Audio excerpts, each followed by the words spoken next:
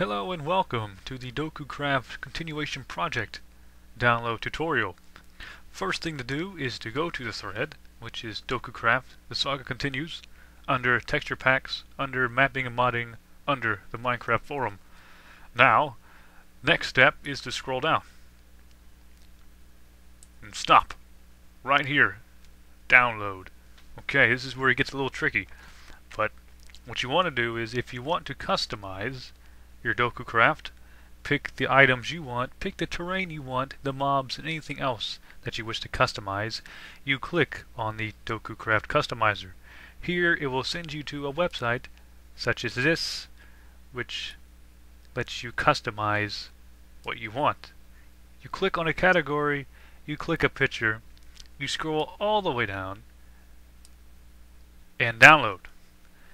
Now this website only works well with Google Chrome, Firefox, and Internet Explorer 9.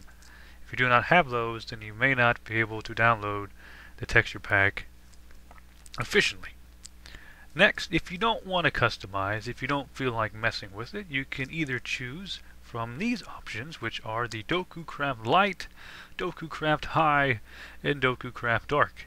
Now, seeing from their icons, you can kind of get a feel of how they differ from one another. DokuCraft Light is the default color scheme and everything else. Uh, DokuCraft High is more of high and mighty kind of feel. Everything's saturated more it has uh, decorated and golden trimmed and lovely blue encrusted gems and everything. It looks very nice and pretty. Or you have DokuCraft Dark, which is kind of the opposite. It's desaturated. It has more demonic and skulls, that type of vibe going through its decorations and everything. But if you can't pick which one you want, you can download all of them under DokuCraft All. It consists of all three of these. The next is the DokuCraft Halloween. If you do not know, the DokuCraft Halloween is the Halloween texture pack for DokuCraft. Next you have Sir Aaron's flavor, which unfortunately I have not yet downloaded, so I have no idea what it is. Neither have I downloaded Daru's flavor. But judging by the responses, both are equally as good and you should try them out. If you want, you can download DokuCraft Extras, which consists of extra terrain files, items, and all that good stuff.